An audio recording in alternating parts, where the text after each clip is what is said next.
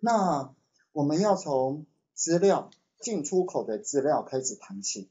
这国家已经很多政府机关都已经在制作这种进出口的一个资料开放。开放之后呢，让我们有机会拿到这么多的真实世界数据。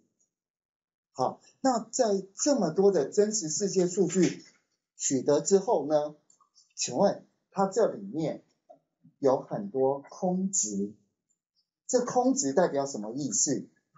难道空值就不具有任何意义吗？好，那民国要不要转成西元？这都是很基本的一个资料清理概念。然后接下来介绍完资料清理完毕之后呢，我就必须要跟你们介绍很重要的视觉化分析，也就是说为什么要使用 Power BI 这个技巧来去快速的看到资料的现象这件事。因为你看到现象之后。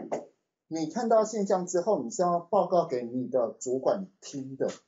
举例来说，假设我现在我看到进出口进口资料一直不断在疫情期间它有大幅成长，出口大幅减少。假设你看到是这样子一个现象，那你觉得要不要赶快报告出来？当然要报告出来，对不对？好，那至于说这一堆的那个视觉化。怎么画？好，这就是我们这两天的重点。不过前面我们今天尤其早上在上的这个部分叫资料清理，它是我觉得你要能够拿到干净的资料，一定要好好学。你如果说是拿垃圾，能不能算出来黑矿、黑金？不可能的。这就是这个课程很重要的一个重点。好，那呃。我们就用两天的时间来跟各位好好的研究一下，真的不难，难的全部都是观念，就是操作，操作起来我算了一下，实际的操作步骤了不起，一到一个半小时就整个操作完毕了。这套软体它最棒的地方就是三五个动作你就画出一个图了，那你要花时间去了解这个图背后的意义，这才是重点。好，我姓孙，在哪里的？在太阳的阳。我我喜欢把我的资料呢，全部都放在网络的平台上面。可是因为去年到今年，我为了要赶我的论文，所以我只能用一个方式。什么方式呢？收费的方式。只要一收费，就不会有学员来问问题了。可以了解啊，因为以前真的全部都是用做功德的方式。放在网络上，可是因为呃，我为了我的博士要能够赶快取得这个这个 license，好，所以我就只好用这个方式，所以不要再写信来问我问题了，不不然你先付费，你只要付费，后面都会有人会协助你，你要讲义要范例都可以，可以吗？我只服务就是我们向你们上课的这些学员，可以了解哦。好那等一下，你们都会拿到范例、讲义这些的讲义，你们已经拿到了嘛？你看我都加了密码，就是希望就是说减少那个提问我问题的学员，这样的话我就比较多的时间可以专心做我的研究。好，那我教了二十多年书，最后我都是专专注于像例如说大数据分析，希望把这个真实世界数据哦。的一个背后的意义呢，能够取代原本的 RCT 的一个机制，因为真的从以前那个医学的研究设计，我们在取样上面它就是很少，例如说几百个，你看统计课本的教材都是几百个，可是我们现在随便去搜医院里面的一个资料，都是几千、几万、几百万笔的资料，那这些真实世界数据，它又应该要怎么样来去做一个？数据分析，这才是最重要的一个重点。好，那还有，我还是希望推自动化。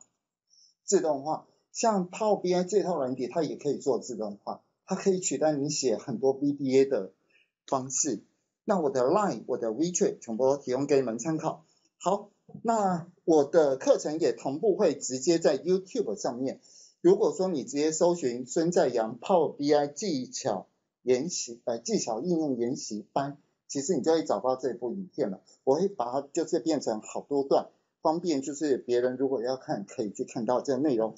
我这个课程所使用的资料是财政部的进出口资料，好，这个资料呢也就是外贸资料，好，那。这个资料它的优点呢，它一直在更新。我们找很多的那个开放资料，它有些是不更新了，可是它这资料一直在更新。其实我以前我我会给你们看到，就是疫情疫情期间本土疫情，我们可能要先知道一下本土疫情我们的定义就是五月到七月，二零二一年的五月到七月，对不对？那我们就会想说，这个三个月。跟什么？二零二零年的五月到七月来比比看进出口到底有没有差别，对不对？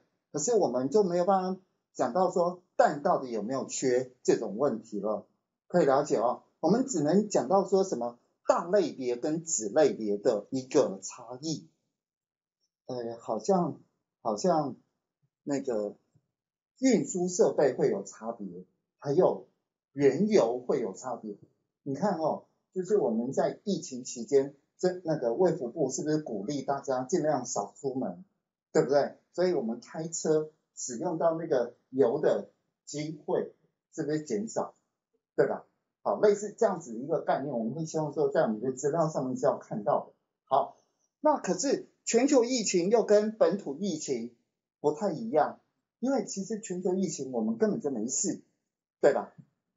二零二零年五月到七月，其实大家都好像恢复正常的作息，对对不对？那二零一九年呢，五月到七月是没有疫情，所以我们就来看看说，嗯，尤其是没有疫情跟本土疫情，到底在进口跟出口有没有改变？可以理解哦。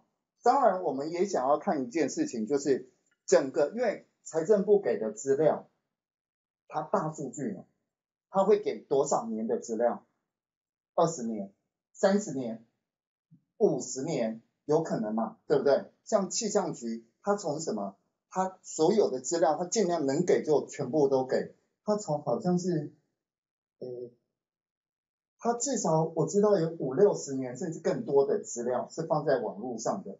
好，那只是提供给你们参考一下，这。只要你将来就是希望也把自己的资料拿出来给别人来去算，你要考虑到一件事，后面要一直不断的更新，你不然就断掉了，这是蛮可惜的。好，那目前台北市很多的资料都遇到是这样情形，就大概都是维维护到了二零一八年就不维护了，只是后面都没有新的资料。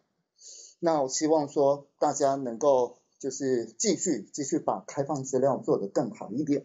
好了。